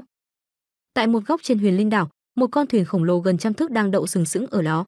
Xung quanh thân thuyền được bao bọc bởi lớp vỏ bằng thép luyện, vô cùng kiên cố. Trên cánh buồm là dấu hiệu của cổ gia đang tung bay trong gió. Loạn ma hải rộng lớn vô tận, khí tượng trên biển cũng khó lường, bất cứ tai họa nào cũng có thể xảy ra. Vì thế ngoài những cường giả vô cùng cường hãn ra, đại đa số mọi người đều vượt biển bằng các loại thuyền lớn kiên cố này. Trên thuyền của cổ gia còn có không ít đệ tử của cổ gia, bởi thế khi Lâm Động theo Cổ Yên lên thuyền cũng thu hút không ít ánh mắt nghi hoặc. "Cổ Yên tiểu thư." Một lão giả áo xám nhanh chóng tiến lại cung kính hành lễ. "Tần thúc, khởi hành đi, đến võ hội đảo." Cổ Yên gật đầu với lão giả đó. Lão giả gật đầu, nhưng mắt lại nhìn về phía Lâm Động đi theo đằng sau Cổ Yên. Hắn là người viện trợ ta mười lần này, tên là Lâm Động. Cổ Yên cười, nói: "Ồ." Lão giả hơi ngạc nhiên, nhìn Lâm Động với ánh mắt kỳ lạ, khóe miệng khẽ động nhưng không nói gì, chỉ là nét mặt có phần cổ quái. Lâm Động thấy thế cũng chỉ mỉm cười, lướt ngang qua, đi vào trong khoang thuyền, nhìn về phía mặt biển bao la. Vùng biến rộng mênh mông này khiến tâm trạng của hắn cũng có chút cảm thán. "Tiểu thư, bởi vì Cổ Vân Thiên thiếu gia bị trọng thương nên tiểu thư mới mời tiểu huynh đệ đây sao?" Lão giả nhìn Lâm Động đi rồi mới hạ giọng hỏi. "Ừm." Cổ Yên gật đầu, nhất thời nhíu mày hỏi. "Có gì sao?" Theo ta biết, Cổ gia chúng ta cũng đã mời được một vị viện trợ khác, người đó tiểu thư cũng biết, chính là thiếu tông chủ của Địa Hải Tông, đã từng có lần cầu hôn tiểu thư, Mặc đảo Nghe lão giả nói vậy, sắc mặt Cổ Yên hơi thay đổi, nhất thời có phần giận dữ nói: "Sao lại mời hắn? Tuy hắn rất đáng ghét nhưng dù sao cũng là sinh huyền cảnh tiểu thành, danh tiếng cũng không nhỏ, chắc chắn gia tộc cũng hết cách rồi, thời gian lại gấp gáp như vậy." Lão giả cười khổ, nhất thời nhìn bóng lưng Lâm Động, nói: "Giờ tiểu thư mời vị tiểu huynh đệ đây, đến khi gặp nhau, chắc chắn Mặc Đào sẽ không để hắn yên." Cổ Yên nghe thấy thế, nộ khí bỗng nhiên tan biến, ánh mắt lạnh lùng lóe lên chút giảo hoạt, lẩm bẩm: "Mặc kệ tên Mặc Đào đó, chưa biết ai khiến ai không yên đâu. Hy vọng hắn an phận một chút, nếu không tự chuốc nhục vào thân cũng chẳng trách ai được." Lão giả nghe thấy thế thì kinh ngạc, hiển nhiên không thể ngờ Cổ Yên lại có lòng tin với Lâm Động như vậy, nhưng cũng không tiện nói gì thêm, chỉ gật đầu rồi lùi xuống, gọi đám thuộc hạ, bắt đầu chỉ huy thuyền. Con thuyền khổng lồ đỏ rực bắt đầu căng buồm tiến thẳng về vầng mặt trời đang lặn. Trên mặt biển mênh mông vô tận, từng đợt sóng hung hãn trắng xóa cuồn cuộn đập lên mạn thuyền, phát ra những âm thanh đinh tai nhức óc. Lâm Động đứng trên mũi thuyền, ánh mắt nhìn về đường chân trời xa tít, những làn gió đem theo vị mặn mặn của biển cả thổi tới khiến tinh thần người ta có chút phấn chấn. Bọn họ đã rời khỏi Huyền Linh đảo mấy ngày rồi, trong mấy ngày này, bọn họ đi không ngừng nghỉ, dọc đường cũng trải qua một số hiện tượng thời tiết thiên nhiên đáng sợ. Sức mạnh của tự nhiên khiến Lâm Động lĩnh hội được sự đáng sợ của loạn ma hải. Nhưng may mà người cổ gia có kinh nghiệm phong phú, thời tiết cũng không gây cản trở gì nhiều. Lần này chúng ta đến Võ Hội đảo, cũng là nơi có Hồng Hoang Tháp, ở có trọng binh cường giả của ngũ đại gia tộc chấn thủ, hàng năm chỉ mở ra khi võ hội bắt đầu. Năm nào vào thời gian này cũng có vô số cường giả tập trung tới đây. Dù sao võ hội cũng là sự kiện không nhỏ của Hải vực Thiên Phong này. Cổ Yên ở bên cạnh nói: Thường thì võ hội là nơi cho các đệ tử trẻ tuổi giao đấu, vì thế mời người bên ngoài giúp cũng phải thuộc độ tuổi thanh niên này. Vì thế các thế lực đa phần đều mời các cường giả trẻ tuổi có danh khí không nhỏ ở Hải vực Thiên Phong. Ta nghĩ phải trừ ta ra. Lâm Động cười nói, ở Hải vực Thiên Phong, hắn chẳng có chút danh tiếng nào, hoàn toàn là loại vô danh tiểu tốt. Có lẽ sau võ hội, ngươi sẽ có danh tiếng. Cổ Yên cười, nàng hiểu rõ thực lực của Lâm Động, khi hắn chỉ mới là cửu nguyên niết bàn đã có thể giải quyết một tiên phù sư tiểu thừa và yêu thú sinh huyền cảnh tiểu thành. Huống hồ bây giờ hắn đã là sinh huyền cảnh tiểu thành, tuy chưa thật vững chắc, nhưng có ai phủ nhận được lực chiến đấu cường hãn của hắn. Theo suy đoán của Cổ Yên, nếu Lâm Động sử dụng toàn bộ lực chiến đấu có lẽ không có đối thủ trong tầng thứ sinh huyền cảnh tiểu thành. Lâm Động không khẳng định cũng chẳng phủ định, nói: "Bốn gia tộc khác có ai khó đối phó không?" Thực lực của tứ đại gia tộc còn lại đều không tệ. Trong số các đệ tử trẻ tuổi cũng có những nhân vật kiệt xuất. Ví dụ như trong Ngụy gia, nổi danh nhất là Ngụy Chân, thực lực của hắn đã là sinh huyền cảnh tiểu thành đỉnh phong, nghe nói có hy vọng trong vòng 2 năm sẽ xung kích sinh huyền cảnh đại thành. Vẻ mặt Cổ Yên khá ngưng trọng, nói: "Ồ." Ánh mắt Lâm Động lóe lên chút kỳ dị, sau đó gật gù. Không hổ là loạn ma hải, đệ tử trẻ tuổi mà đã có nhân vật giỏi như vậy. Sinh huyền cảnh tiểu thành đỉnh phong, ở Đông Huyền vực có thể coi là cường giả chân chính rồi. Hai đại gia tộc khác, Tô Nham của Tô gia, Tống Thành của Tống gia, thực lực cũng thuộc tầng cấp đó, cũng khá khó đối phó. Thế thân đồ gia thì sao? Lâm Động hỏi về gia tộc mà Cổ Yên chưa nhắc đến. Thân đồ gia. Nhắc đến gia tộc này, sắc mặt Cổ Yên có chút thiếu tự nhiên, nhất thời cười khổ nói: Thân đồ gia có thể coi là gia tộc mạnh nhất trong ngũ đại gia tộc. Quán quân võ hội năm ngoái thuộc về thân đồ gia. Trong số các đệ tử trẻ tuổi của thân đồ gia, lợi hại nhất chính là Thiết Tu La thân đồ tuyệt. Cái tên này thật sự là cả hải vực thiên phong không ai không biết. Thiết Tu La thân đồ tuyệt. Lâm Động nheo mắt lại, gã này có danh tiếng như vậy trong hải vực thiên phong, hiển nhiên cũng có bản lĩnh lợi hại. Hiện giờ hắn đã là sinh huyền cảnh đại thành rồi. Hơn nữa hắn cũng tu luyện nhục thể cực mạnh, tu la thể của thân đồ gia đã được hắn tu luyện đến mức thuần thục. Thời gian không lâu trước đây có thông tin truyền ra nói thân đồ tuyệt từng ra đấu và đánh bại một cường giả sinh huyền cảnh đại thành. Cổ Yên lắc đầu cười khổ, lợi hại. Lâm Động gật gù, xem ra thân đồ tuyệt đúng là nhân vật khó nhằn. Trong loạn ma hải, có người đã lập nên bảng xếp hạng những đệ tử trẻ tuổi, mà tên thân đồ tuyệt đứng vững ở vị trí thứ ba. Cổ Yên nói, thân đồ tuyệt chỉ đứng thứ ba. Lâm Động khựng người, hắn vốn tưởng rằng gã này chính là người mạnh nhất trong số các đệ tử trẻ tuổi ở Hải vực Thiên Phong rồi. Cổ Yên gật đầu. Đứng thứ nhất là Càn Khôn thủ châu Càn của Càn Khôn Động Thiên, xếp thứ hai là Tiểu Minh Vương Tạ Diêm của Tà Phong Động Thiên. Hai người này mới là những nhân vật đứng đầu đệ tử trẻ tuổi của Loạn Ma Hải. Lâm Động khẽ nhẩm lại hai cái tên này, sau đó cảm thán. Chất lượng đệ tử của Loạn Ma Hải thật sự cao hơn hẳn Đông Huyền vực một bậc. Đương nhiên, thân đồ tuyệt cũng không yếu hơn hai người kia bao nhiêu. Dù sao thì cũng chưa từng giao đấu, chẳng ai nói rõ được. Cổ Yên nói, võ hội lần này, thân đồ ra vì là quán quân năm ngoái nên không cần tham chiến, chỉ cần bảo vệ tháp là được. Bảo vệ tháp? Ừm, trong số những người tham gia võ hội, cuối cùng chỉ có một gia tộc đi đến cuối cùng, khiêu chiến thân đồ ra, nếu thắng thì sẽ được ba người vào Hồng Hoang Tháp. Nếu thua thì quán quân vẫn là thân đồ ra Như thế thì giống như thủ lôi đài à. Quán quân có lợi ích không nhỏ à. Lâm Động cảm thán, thân đồ gia không cần tham gia cuộc cạnh tranh kịch liệt trước đó, chỉ cần nhàn hạ ngồi chờ, thật là lợi ích không nhỏ. Ưu đãi của quán quân mà, quy định là vậy. Cổ Yên cũng bất lực, khẽ thở dài. Lần bảo vệ tháp này chắc chắn có thân đồ tuyệt, đúng là mãnh hổ cản đường. E là tứ đại gia tộc chẳng ai nắm chắc có thể vượt qua được. Cổ Yên nói thế cũng không phải tự hạ thấp mình. Tuy nàng biết thực lực Lâm Động rất khá, nhưng dù sao thì danh tiếng của thân đồ tuyệt trước giờ đã quá lớn, biết bao nhiêu chiến tích khiến người cùng lứa phải hổ thẹn. Vì thế lần này Cổ Yên cũng không tự tin lắm trong việc cổ ra giành được chức quán quân. Lâm Động cười cười, cũng không nói gì hơn. Hắn không có hứng thú chủ động đi đọ sức với người khác, nếu không phải vì thạch phù thì hắn cũng không muốn nhúng tay vào võ hội lần này. Nhưng mọi chuyện đều không có chữ nếu, lần này hắn đã có cơ hội đánh thức thạch phù, đương nhiên không thể từ bỏ. Vì thế nhất định lần này hắn phải có được một suất vào Hồng Hoang Tháp. Nếu có kẻ chặn đường thì đành đánh bại kẻ đó thôi. Lâm Động buông thõng hai tay, mắt nhìn về mặt biển phía xa. Ở đó lại có mây đen tích tụ, một trận bão tố sấm sét dần hình thành. Sau khoảng 10 ngày trên biển, Lâm Động cảm nhận được rõ ràng mặt biển xung quanh dần trở nên náo nhiệt. Vô số chiếc thuyền từ khắp bốn phương tám hướng băng qua, cuối cùng tập trung ở phía trước, nhìn qua tràng diện vô cùng đông đúc, hoành tráng. Đến võ hội đảo rồi. Cổ Yên đứng trên mũi thuyền, nhìn về đất liền ở cuối tầm mắt, ánh mắt cũng hiện vẻ vui mừng. Lâm Động ngẩng đầu lên, chỉ thấy một vùng đất rộng lớn, cái gọi là đảo này hiển nhiên là vô cùng rộng lớn, dù trên mặt biển lúc này có rất nhiều tàu thuyền nhưng không hề có cảm giác chật chội. Đó là thuyền của cổ gia. Đứng trên mũi thuyền là Cổ Yên phải không? Hắc hắc, đúng là mỹ nhân mặt lạnh. Nghe nói cổ Vân Thiên của cổ gia trước đây không lâu bị kẻ nào đó đánh trọng thương, xem ra không thể tham chiến võ hội lần này rồi. Cổ Vân Thiên không thể tham chiến à? Thế thì có lẽ cổ gia lành ít dữ nhiều rồi. Đúng thế, khi thuyền của cổ gia tiến gần bờ, xung quanh có không ít ánh mắt nhìn sang. Khi thấy chữ cổ trên buồm, tất cả đều xì xào bàn tán. Cổ Yên nghe được những lời bàn tán kia thì nhíu mày, sau đó vung tay lên. Chiếc thuyền nhanh chóng cập bến riêng của cổ gia, ở đó đã có không ít hộ vệ cổ gia đang chờ sẵn. Lâm Động, đi thôi. Cổ Yên quay sang Lâm Động, khẽ nói, sau đó nhúng mình bay đi trước, đáp xuống bến cảng ở phía xa. Theo sau nàng ta là Lâm Động, Cổ Anh, Cổ Nhã và những đệ tử cổ gia khác. Cổ Yên tỷ, cuối cùng tỷ cũng đến. Cổ Yên vừa đáp xuống thì đã có không ít đệ tử cổ gia ùa lại.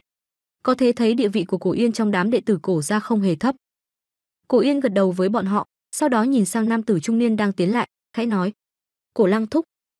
Phía sau nam tử trung niên đó còn có một gã nam tử khá tuấn giật, lúc này hắn đang nhìn Cổ Yên với ánh mắt cuồng nhiệt, nhưng dường như Cổ Yên coi như không biết đến hắn. "Ha ha, đến kịp là tốt rồi." Người được gọi là Cổ Lăng thúc gật đầu cười, ông ta nhìn chăm chú Cổ Yên rồi mừng rỡ nói: "Con đã đột phá rồi sao?" "Vâng, ở Huyền Linh đảo có được sinh sinh huyền linh quả, nhờ vào nó mà đột phá được sinh huyền cảnh." Cổ Yên gật đầu. Đúng là chuyện đáng mừng. Cổ Lăng cười nói, sau đó lùi sang nửa bước, chỉ vào nam tử tuấn giật kia nói: "Tiểu Yên, đây là Mặc Đào, con cũng không lạ gì nữa. Lần này hắn là người viện trợ của cổ gia ta." "Cổ Yên cô nương, chúng ta lại gặp nhau rồi." Mặc Đào bày ra bộ dáng khá phong độ cười với Cổ Yên một cái rồi nói. Cổ Yên bình thản liếc nhìn hắn một cái, sau đó cũng đứng sang một bên, chỉ vào Lâm Động, nhìn sang Cổ Lăng, nói: "Cổ Lăng thúc, đây là người viện trợ mà con mời đến, Lâm Động." Cổ Yên vừa dứt lời thì Cổ Lăng và những đệ tử xung quanh cùng thoáng khựng người lại, vẻ mặt có chút cổ quái nhìn sang Mặc Đào, nụ cười trên gương mặt đang dần thu lại. Lâm Động cũng cảm thấy khá đau đầu vì bầu không khí có phần cổ quái này. Nhưng hắn chưa kịp nói gì đã cảm nhận được ánh mắt sắc lạnh của Mặc Đào nhìn về phía mình. Trên gương mặt tuấn giật đó hiện lên nụ cười nửa có nửa không. Một người mới bước vào sinh huyền cảnh, đến khí tức cũng không ổn định, lại được mời làm người viện trợ. Cổ Yên cô nương, hành động này hình như hơi nực cười rồi thì phải. Giọng nói lạnh lùng của Mặc Đào vang lên khiến bầu không khí có phần đặc quánh lại. Đám đệ tử cổ gia ở xung quanh có phần bất lực nhìn cảnh tượng đó, hiển nhiên cũng đã quen với kiểu châm chọc đó của hắn. Khi Mặc Đào vừa dứt lời thì mọi người cũng bắt đầu nhìn về phía Lâm Động, khí tức của hắn đúng là không yếu, nhưng so với Mặc Đào đã là sinh huyền cảnh tiểu thành đỉnh phong thì vẫn có khoảng cách. Hơn nữa dù thế nào thì Mặc Đào cũng có danh khí không nhỏ ở Hải vực Thiên Phong, còn Lâm Động thì chẳng một ai biết đến. Chẳng ai biết được Cổ Yên mời hắn từ đâu đến, người thế này có thể thay thế được Cổ Vân Thiên sao? Khụ khụ. Cổ Lăng thấy thế, khẽ hắng giọng một cái, nhìn Lâm Động rồi cười với Cổ Yên. "Tiểu Yên, chuyện của Vân Thiên, con cũng đã biết. Tình hình hiện nay của cổ gia chúng ta không được tốt. Tuy con đã đột phá sinh huyền cảnh tiểu thành nhưng vẫn khó lòng thay đổi được nhiều. Thực lực của Mặc Đào, ai cũng biết có thể thay thế được Vân Thiên. Cổ Lăng biết Cổ Yên không có thiện cảm với Mặc Đào, vì thế cũng chỉ cho rằng nàng cố tình tìm một người đến để đẩy Mặc Đào đi. Nhưng tình hình bây giờ liên quan đến thành tích của cổ gia trong võ hội, vì thế không thể theo ý Cổ Yên được. Còn về thực lực của Lâm Động, Cổ Lăng nhìn qua là biết hắn mới bước vào sinh huyền cảnh, hơn nữa khí tức còn chưa ổn định, hiển nhiên gần đây dựa vào kỳ bảo gì đó mới đột phá được. Thực lực như vậy so với Mặc Đào đúng là kém quá xa. Cổ Lăng thúc, con không nói đùa, Lâm Động là người con mời về, thực lực của hắn đủ để trợ giúp cổ gia. Nhưng Cổ Yên lại lắc đầu, nghiêm túc nói, "Ừm." Mặc Đào cười nhạt, nhất thời quét mắt lên người Lâm Động, ánh mắt hiện rõ sự khinh miệt. "Cổ Yên cô nương, hắn có tư cách không? Có lẽ không phải mình cô nương nói là được. Ngoài ra, ta vốn cũng không hứng thú gì với võ hội của ngũ đại gia tộc, nếu không phải vì thịnh tình của cổ gia thì ta sẽ không nhúng tay vào. Nếu cổ Yên cô nương thật sự không muốn ta tham gia thì ta có thể nhường lại vị trí này." Rõ ràng Mặc Đào cũng rất có tâm kế, hắn không tranh cãi gì với Cổ Yên mà lấy lùi làm tiến. Nhưng khi hắn vừa dứt lời thì sắc mặt của đám đệ tử cổ gia ở xung quanh đều thay đổi. Cổ Lăng trong mày, nhìn Cổ Yên với vẻ mặt nghiêm khắc. "Tiểu Yên, không được làm bừa." "Chuyện gì vậy?" Ở đây dù sao cũng là bến cảng của cổ gia, xung quanh cũng có một số trưởng bối cổ gia đang chỉ huy hoạt động của bến cảng. Nơi đây tập trung một đám người đông đúc, rất nhanh bọn họ đã nhận ra. Nhất thời có hai nam tử trung niên vẻ mặt nghiêm nghị, khí tức khá mạnh tiến lại trầm giọng hỏi: Hiển nhiên hai người này là trưởng bối địa vị không hề thấp trong cổ gia, nhìn thấy bọn họ, đám đệ tử cổ gia lập tức hành lễ. Sao út gió cổ lăng nói lại chuyện vừa rồi. Nghe xong, sắc mặt hai nam tử trung niên đó có phần khó coi. Mạc Đào thấy vậy cũng cười nhạt, hai tay khoanh trước ngực đắc ý nhìn Lâm Động. Tiểu Yên, không được gây chuyện. Việc mời mặc Đào là do đích thân trưởng lão căn dặn, sao có thể thay đổi vì lời của con. Người nam tử trung niên có lông mày rậm trầm giọng nói, nhất thời nhìn sang Lâm Động vị bằng hữu đây đã đến rồi thì cũng là khách của cổ gia ta việc làm người viện trợ không cần nhắc đến nữa từ đầu chí cuối lâm động không hề nói gì chỉ lạnh lùng quan sát mọi việc mà sự im lặng này cũng khiến người ta càng không coi ra gì cổ hoa thúc tiểu yên đã mời người ta chắc chắn có lý của muội ấy với tính cách của mình chắc chắn muội ấy không hồ đồ nhất thời đâu chi bằng hãy nghe lý do khi nam tử trung niên kia vừa dứt lời thì bên ngoài đám người bỗng có một giọng nói nhẹ nhàng của một nữ tử vọng tới mọi người lập tức đứng tách ra một thân ảnh duyên dáng mặc y phục trắng đơn giản nhẹ nhàng tiến vào. Nữ tử đó có dung mạo khá thanh lệ, đôi mắt tựa hoa đào, khí chất ôn nhu, giọng nói du dương khiến người ta say đắm. Mộng Kỳ tỷ. Rõ ràng nữ tử này cũng có uy tín không thấp trong mắt các đệ tử cổ gia. Nàng ta vừa xuất hiện thì không chỉ đệ tử ở xung quanh mà ngay cả Cổ Yên cũng vui vẻ lên tiếng. Lâm Động nhìn mỹ nhân dịu dàng này một cái, cặp mắt nheo lại, khí tức của nàng ta mạnh hơn Cổ Yên, dường như còn vượt cả Mặc Đào. Cổ gia không hổ là một trong ngũ đại gia tộc. Mộng Kỳ, ba người cổ lang thấy nữ tử đó tới cũng khẽ gật đầu sau đó nhìn sang cổ yên đợi nghe cái gọi là lý do hợp lý của nàng lâm động quả thật mới đạt được thực lực sinh huyền cảnh trong gần một tháng trước cổ yên vừa dứt lời thì khóe miệng mặc đào đã nhếch lên nhưng nó chưa được mở rộng thì câu nói tiếp theo của cổ yên đã khiến nụ cười đó đông cứng lại. Nhưng trước khi hắn đột phá lên sinh huyền cảnh, đã có một tiên phù sư tiểu thừa và một yêu thú sinh huyền cảnh tiểu thành chết trong tay hắn. Ồ, cổ yên vừa dứt lời, xung quanh lập tức rộ lên những âm thanh kinh ngạc. Không ít kẻ thấy lâm động từ nãy không hề nói gì, trong lòng cũng có chút khinh thường. Nhưng mà lúc này bọn họ mới biết gã thanh niên trầm mặc này quả thật là có năng lực không tệ.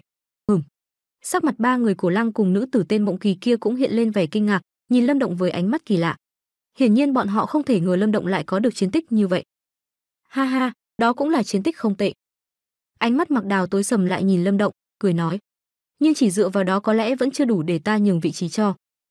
Một tên phù sư tiểu thừa và một yêu thú sinh huyền cảnh tiểu thành, chiến tích này mặc đào cũng làm được, chỉ là có chút khó khăn. Vì thế hắn cũng cảm thấy ngạc nhiên, nhưng muốn hắn chủ động nhường chỗ thì không thể. Ba người của lang khẽ gật đầu dù cổ yên nói thật thì cũng chỉ có thể chứng minh lâm động có thực lực tương đương mặc đào chứ không thể ép hắn nhường chỗ được. Vậy thế nào mới có tư cách? Cuối cùng lâm động mỉm cười, nhìn mặc đào hỏi. Mặc đào cười nhạt nhìn lâm động, chỉ là nụ cười đó ít nhiều có hàn ý, sau đó hắn xoay cổ tay, bình thản nói. Dễ thôi, trước nay ta rất tôn trọng quy tắc, ở đây coi trọng thực lực, nếu ngươi thắng ta thì có tư cách, nếu không bằng ta thì. Nói đến đây mặc đào cười khẽ, sau đó sắc mặt lạnh tanh. Ngươi cút sớm đi, đừng cản trở việc của ta có thể nhận ra mặc đào rất thiếu thiện trí với lâm động. Bản thân hắn cũng ái mộ cổ yên, thế nhưng lúc này cổ yên lại phủ nhận hắn vì lâm động, trong lòng hắn đã sớm bực mình từ lâu. Nếu có bản lĩnh thật thì ra đấu với ta, kết quả chỉ có hai con đường, ngươi cút hoặc là ta cút. Đám đệ tử cổ gia ở xung quanh nghe mặc đào nói vậy cũng thầm tặc lưỡi, xem ra hắn nổi giận thật rồi. Ánh mắt ba người cổ lăng và cổ mộng kỳ đều khẽ động, nhưng cũng không nói gì thêm. Thật ra bọn họ cũng không bận tâm lắm chuyện ai làm người viện trợ, chỉ cần người viện trợ có thực lực thật sự thân phận gì cũng không quan trọng mọi ánh mắt nhìn về phía lâm động lúc này mặc đào đã nói như thế nếu như lâm động không dám tiếp nhận thì chỉ đành tự rời đi mà thôi trước bao ánh mắt nhìn chăm chú lâm động cười cười rồi bước ra nhìn thẳng vào mặc đào nói nếu phải nhất định phải vậy thì ngươi cút đi Khi chữ cuối cùng vừa dứt, nụ cười trên gương mặt Lâm Động cũng tan biến hoàn toàn. Nhất thời một thứ hàn khí lạnh lẽo bùng phát ra từ thân thể hắn khiến cho đồng tử của mấy người cổ lăng cũng phải co rút lại. Hàn khí đột nhiên tỏa ra từ trên người Lâm Động, sự biến chuyển đột ngột này khiến những tiếng xì sầm bàn tán xung quanh bỗng chốc ngưng bặt, tất cả cũng sững sờ nhìn Lâm Động. Còn mấy người cổ Yên thì khá bình tĩnh một chút, bọn họ cũng khá hiểu về tính cách của Lâm Động. Đừng thấy bình thường biểu hiện của hắn có vẻ ôn hòa, nhưng đằng sau nó lại là gương mặt của một sát thần. Hơn nữa khi hắn đã thể hiện ra vẻ mặt này thì chắc chắn đối thủ sẽ gặp bi kịch rồi. Người. Cổ Lăng cũng bị chấn động vì lời nói không giữ chút thể diện nào cho Mặc Đào, cặp mày khẽ che lại. Trong lòng thầm nghĩ gã thanh niên này quá ngông cuồng rồi, dù sao thì làm người xử lý sự việc cũng không nên quá lạnh lùng như vậy. Nhưng khi Cổ Lăng chuẩn bị nói gì đó thì Cổ Mộng Kỳ đã liếc mắt ngăn lại, đôi mắt hoa đào xinh đẹp đó dừng lại trên người Lâm Động. Nhãn quang của Tiểu Yên trước nay đều không tệ. Muội ấy biết võ hội sắp đến gần, nếu ép Mặc Đào rời đi thì sẽ là tổn thất lớn cho cổ gia chúng ta. Nhưng muội ấy đã cố chấp như vậy, con nghĩ có lẽ thực lực của tên Lâm Động này không tệ đâu. Nhưng hắn chỉ mới bước vào sinh huyền cảnh, tuy không phải yếu nhưng vẫn còn khoảng cách không nhỏ với Mặc Đào. Cổ Lăng cau mày. Ai biết được? Cổ Mộng Kỳ cười cười, nhìn chăm chú Lâm Động một chút rồi nói: "Hơn nữa, dù hắn thật sự không phải là đối thủ của Mặc Đào thì chúng ta cũng chẳng tổn thất gì. Dù sao nếu hắn thất bại, Tiểu Yên cũng không thể nói gì nữa." Nghe vậy ba người Cổ Lăng trầm ngâm rồi cùng gật đầu. Tình hình hiện tại đúng là không thể nhìn bề ngoài là nói rõ được, nếu đã như vậy, cứ quyết đấu xem thực lực thế nào. Nếu Lâm Động thật sự đánh bại được Mặc Đào thì lần này cổ ra lời to rồi. Trước bao ánh mắt chăm chú, nét mặt Mặc Đào cứng đờ lại, sau đó ánh mắt hắn nhanh chóng tối sầm lại, cổ họng phát ra tiếng cười cổ quái, nhìn chằm chằm Lâm Động. Bản lĩnh cũng không tệ. Được thôi, để xem rốt cuộc ngươi có bản lĩnh gì bảo Mặc Đào ta cút đi. Mặc Đào lạnh băng nhìn Lâm Động. Nếu ngươi thật sự có bản lĩnh đó thì nhường lại vị trí cho ngươi cũng không thành vấn đề. Nhưng nếu ngươi chỉ ra vẻ trước mặt ta, thì đừng trách ta bắt ngươi phải trả giá cho sự ngông cuồng đó. Lâm Động nhìn hắn, khoanh tay cười nhạt. Hàn quang lóe lên trong mắt Mặc Đào, nguyên lực cuồng bạo cuồn cuộn tỏa ra. Những người đứng xung quanh vội vàng lùi ra xa. Mặc Đào vung tay, một vòng sáng khoảng 10 trượng hiện lên dưới mặt đất. Hắn chỉ vào đó nói: "Ta cũng không ức hiếp gì ngươi, nếu ngươi đẩy được ta ra khỏi vòng tròn này thì coi như ngươi thắng." Mặc Đào nói lời này không hề che giấu sự cao ngạo, danh tiếng của hắn vang dội khắp hải vực thiên phong, mà Lâm Động không chỉ thực lực không bằng mà cũng chẳng có danh tiếng gì, như thế không thể không khiến Mặc Đào nghĩ hắn chỉ muốn dựa vào danh tiếng của mình để trèo cao. Loại người này dù thắng hay thua cũng không có ảnh hưởng gì lớn với bản thân hắn. Lâm Động nghe thấy thế, hơi khựng người lại rồi bật cười, hiển nhiên hắn đã hiểu Mặc Đào nghĩ gì. Loại người quá để tâm đến thanh danh lại không hiểu rằng sư tử bắt thỏ cũng phải dùng toàn lực, tâm thái như vậy thật ngu xuẩn. Tùy ngươi. Lâm Động lắc lắc đầu, hắn không muốn dây dưa nhiều với Mặc Đào ở đây. Sinh huyền cảnh tiểu thành đỉnh phong, thực lực này quả thật không tệ, nhưng đối với Lâm Động hiện tại thì không có quá nhiều sự uy hiếp. Kiểu chiến đấu này vẫn nên tốc chiến tốc thắng là hơn. Mặc Đào cười nhạt, hai tay khoanh trước ngực, hiển nhiên hắn cho rằng thanh thế Lâm Động đã yếu hơn, chỉ cần hắn thi triển một số thủ đoạn là Lâm Động sẽ phải cung cút cút đuôi chạy khỏi võ hội đảo. Đến lúc đó Cổ Yên chắc chắn cũng nhìn rõ hơn được một vài điều, cổ gia hiện giờ chỉ có hắn trợ giúp với giành được chút thành tích. Hai vị đã nói rõ rồi thì hãy giao đấu ở đây. Người thắng sẽ trợ giúp cho cổ gia lần này, nhưng mong hai vị dừng ở mức độ giao hữu. Cổ Mộng Kỳ nhẹ nhàng nói. Lâm Động khẽ gật đầu, nhất thời bước lên, theo từng bước chân của hắn, từng luồng nguyên lực dồi dào lan tỏa. Sức mạnh này mạnh mẽ hơn trước đây rất nhiều lần. Mạc Đào cảm ứng năng lượng tỏa ra từ Lâm Động, lông mày giật giật, hàn quang đột nhiên lóe lên trong mắt. Hắn khẽ bước chân ra, tiếng gió rít đột ngột vang lên, hắn đã ra tay trước. Xoẹt. Tốc độ Mạc Đào cực nhanh, chỉ chớp mắt đã xuất hiện phía trước người Lâm Động, sau đó hai bàn tay vẽ lên một đường cong quỷ dị, nguyên lực hùng hồn bộc phát. Phá lãng phân cốt trưởng. Ánh sáng màu lam trong tay Mạc Đào bùng phát, nhất thời dường như có tiếng sóng chiều truyền ra, nguyên lực biến thành những con sóng bạc đầu phía sau hắn, đem theo thanh thế kinh người ập xuống Lâm Động. Không thể không thừa nhận mặc Đào có thực lực kinh người. Một trường này có thể khiến cường giả sinh huyền cảnh tiểu thành bình thường cũng phải rút lui một cách thảm hại, chẳng trách mà hắn được cổ ra mời làm người viện trợ. Nhưng đáng tiếc là Lâm Động lại không phải loại cường giả sinh huyền cảnh tiểu thành bình thường. trưởng phong lam quang uỳnh uỳnh ập tới ngày một gần, bên ngoài cơ thể Lâm Động cũng cuồn cuộn thanh quang, sau đó hắn giơ bàn tay phải ra, trên cánh tay mơ hồ hiện lên hoa văn thanh long. Rầm. Lâm Động giơ thẳng tay ra, không hề có ý tránh né, ngược lại còn chọc thẳng vào trong đợt sóng chiều, sau đó biến trưởng thành quyền, đánh thẳng lên trưởng phong của Mặc Đào giấu bên trong luồng sóng chiều kia. Âm thanh trầm đục vang lên, nhất thời một trận kình phong cùng bạo bùng nổ, mặt đất lập tức nứt ra thành từng đường kẻ nứt to bằng cánh tay. Hự, sắc mặt Mặc Đào kịch biến, cổ họng phát ra một tiếng rên nhỏ, cả người cũng lùi về phía sau nửa bước, vẻ mặt có chút khó coi. Rõ ràng hắn đã chịu thua thiệt chút ít trong lần va chạm này. Lực lượng mạnh thật. Mặc Đào hừ lạnh một tiếng, nhưng hắn vừa dứt lời thì đồng tử đột nhiên co rút lại, một đạo thanh quang bắn tới nhanh như tia chớp quyền ảnh cùng bạo như vũ bão đem theo sức mạnh hung hãn nhằm thẳng tới những yếu huyệt trên người hắn mà công kích. Mạc Đào thấy vậy, ánh mắt ngưng tụ, hai tay vung lên, nguyên lực biến thành một vòng xoáy lớn phía trước mặt, quyền ảnh của Lâm Động đánh lên đó lập tức bị vòng xoáy hóa giải. Chỉ có lực lượng thôi chưa đủ đâu. Mạc Đào cười chào phúng, sức mạnh nhục thể của Lâm Động quả thật khiến hắn kinh ngạc không ít, nhưng đối với hắn, chỉ cần đối phó thích hợp thì sức mạnh đó sẽ không có tác dụng gì lớn. Vậy sao? Lâm Động nhếch mép, sau đó ánh mắt lạnh băng, bàn tay phải bỗng kết ấn pháp quái dị. Nhất thời thanh quang lấp lánh cùng nguyên lực hùng hồn bùng nổ khiến không ít người cảm thấy khó thở. Võ đế điển, võ đế toái phách ấn. Bàn tay trái biến thành trường ấn tung ra, vào khoảnh khắc ấy, sau lưng hắn đột nhiên hiện ra một đạo hư ảnh khổng lồ. Thiên trùng lãng pháp, thiên trùng môn. Ngay khi nhìn thấy hư ảnh xuất hiện phía sau Lâm Động, trong lòng Mặc Đào cũng cảm thấy chút bất an. Lập tức hắn cũng không dám chậm trễ, thân hình khẽ động, nguyên lực bùng phát biến thành một chiếc xoáy to hàng trăm trượng trước mặt mình, phát ra sức mạnh sát thương kinh người. Uỳnh, thế nhưng Lâm Động không thèm bận tâm, trường ấn vẫn tung ra, đánh thẳng lên vòng xoáy kia. Muốn chết. Mạc Đào thấy vậy, trong lòng cười mỉa mai, tâm thần khẽ động, vòng xoáy lập tức xoay tròn định nghiền nát cánh tay Lâm Động. Két két. Âm thanh ma sát không ngừng phát ra, tia lửa bắn ra tung tóe, nhưng sắc mặt Lâm Động không hề thay đổi, hắn nhìn Mạc Đào rồi nhếch mép cười. Phá! Thanh quang đột ngột bùng nổ, nhất thời tượng một viên thiên thạch rạch nát chân trời, xuyên thủng vòng xoáy khổng lồ. Nhất thời trên vòng xoáy kia bắt đầu xuất hiện vết dạn, cuối cùng bùng một tiếng nổ tung. Cái gì? Mạc Đào thấy thế, sắc mặt kịch biến, đặc biệt là khi thấy quyền ấn xuyên thủng vòng xoáy vẫn lao về phía mình thì sắc mặt càng khó coi hơn. Ngón chân điểm lên mặt đất, thân thể bay lên định tránh quyền ấn. Thế nhưng đúng lúc đó, khóe miệng Lâm Động nhếch lên, hắn ngẩng đầu nhìn Mạc Đào với ánh mắt quỷ dị. Tĩnh chỉ. Âm thanh nhỏ không thể nghe thấy thoát ra từ miệng Lâm Động, sau đó tất cả mọi người xung quanh cùng nhìn thấy, Mạc Đào vốn đang định dùng thân pháp tránh đòn công kích, thân thể bỗng nhiên cứng đờ lại. Ầm. ngay lúc ấy, quyền ấn bay tới đánh mạnh lên ngực Mặc Đào trước vô số ánh mắt kinh hoàng của mọi người. Âm thanh trầm đục vang lên trong không gian, sắc mặt Mặc Đào tái nhợt, thân thể tựa như một viên đạn pháo bay ngược ra sau. Cuối cùng thê thảm rơi xuống, bàn chân kéo lê trên mặt đất thành một đường dài hàng chục thước rồi mới gắng gượng đứng vững được. Đa tạ đã nhường. Lâm Động nhìn Mặc Đào, cười nhạt, nói.